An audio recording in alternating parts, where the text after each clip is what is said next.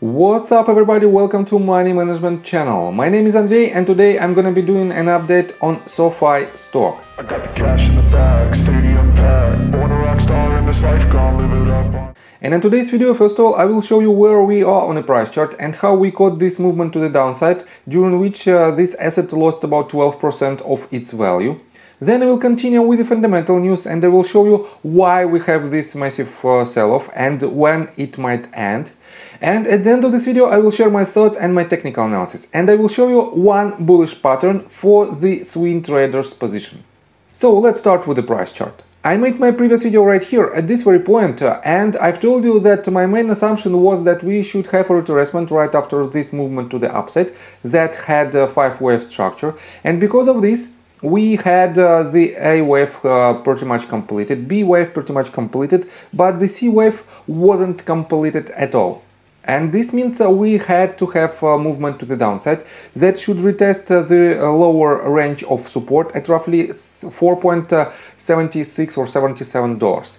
And uh, because of this assumption, as you can see, I was absolutely right, and we had this movement to the downside that found first range of support right here. As you can see, this is uh, several points where we had the reaction from the $4.81 mark. We had first reaction, then this asset broke it to the downside, had the second reaction from uh, this range of support, that was uh, the price action from uh, the beginning of May 2022 and it broke it eventually and right now we are hovering at all-time lows for this asset. Definitely it is quite better sign, but I will show you in my technical analysis with that we also have some bullish signs in the short-term perspective. So, let's continue with the fundamental news. What was the reason of this harsh sell-off?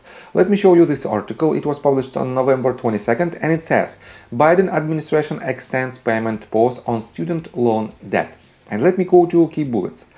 Uh, the Biden administration announced that it will extend the payment pause on federal student loans while its forgiveness plan remains blocked in the courts. Federal student loan bills were scheduled to resume in January. The administration's uh, move uh, comes in response to a federal appeals court ruling last week that imposed a nationwide injunction on the debt relief plan. And let me quote you this. We are extending the payment pause because it would uh, be deeply unfair to ask borrowers to pay a debt that they wouldn't have to pay, were it not for the uh, baseless lawsuits brought by Republicans officials and special interests, Education Secretary Miguel Cardona said in a statement. And definitely uh, it is quite uh, bearish news uh, for the SoFi in the short-term perspective. But in the long-term perspective, uh, I think uh, it cannot affect this asset, I mean SoFi, in a massive way. And let me show you what uh, did SoFi answer to this uh, situation. We are on SoFi's official Twitter page, and let me quote to this. As you probably heard, uh, the moratorium on federal student loans has been extended. It's a lot to follow, so we are here to help break it down for you. The US Department of Regulation stated that because the student loan forgiveness plan was temporarily blocked in court, this delay led to another extension of the payment pause. What happened? Multiple lawsuits were filed against forgiveness. One argues that Biden overstepped uh, his authority in announcing the debt relief plan, and another argues states uh, it will be harmed by lost tax revenue. Courts subsequently issued orders blocking the program. When do payments resume? The exact date is unclear. If the student loan forgiveness uh, plan is approved uh, to resume before June 30, 2023, payments will begin 60 days after it is implemented. If it doesn't happen before June 30, 2023, payments will begin 60 days after June 30th. What happens now? The case for student loan forgiveness will go through the courts, possibly making its way to the Supreme Court. We know this uh, leaves many in limbo, and it's difficult to manage uh, your money without a clear picture. We'll keep uh, sharing updates as they come. And let me show you another summary. Uh, the extension of the moratorium is exactly what SoFi shareholders didn't want because it removes the clarity that would have uh, helped borrowers decide whether or not they should refinance. SoFi could see its uh, full year outlook impacted, but Biden's move will likely result in lower revenue and adjusted EBITDA for the lender that analysts uh, had been projecting for 2023. And uh, given that federal borrowers won't have to make uh, any payments until 60 days after the moratorium ends.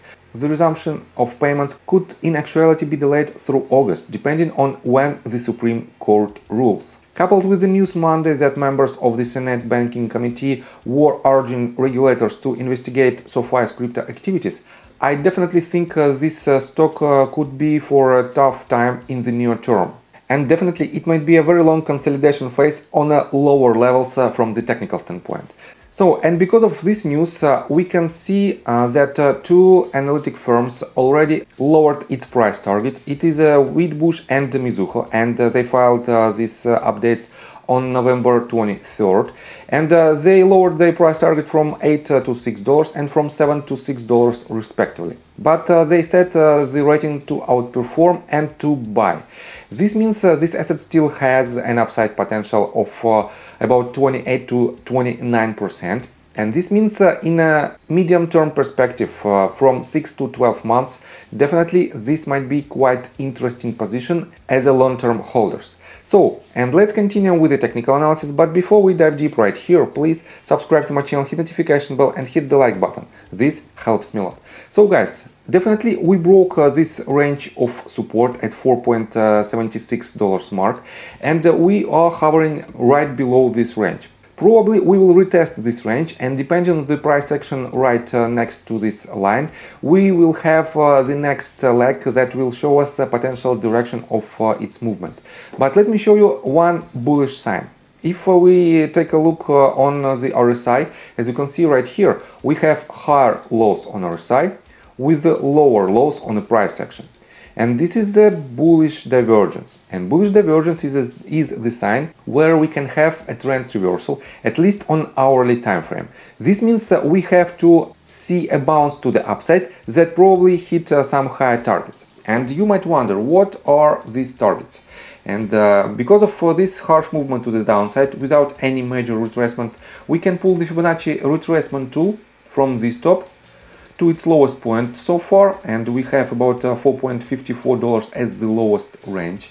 And if uh, it is the case and definitely we can see that uh, the bounce uh, might be at the, the ranges of uh, $5.95 it is almost the confluence with the round number of $5 mark.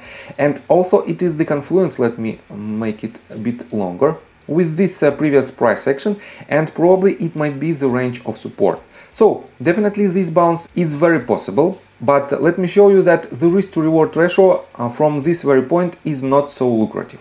If we will take a look uh, on the risk to reward ratio, it might be, uh, let me show it to you, not more than 1.73 to 1 and this means it doesn't uh, make sense uh, to catch this trade from this very point. But if we will see the next leg to the up to the downside that will confirm the uh, next potential movement that won't uh, break these uh, previous bottoms. And we will still have uh, higher high, higher lows on our side with the lower lows on a price action.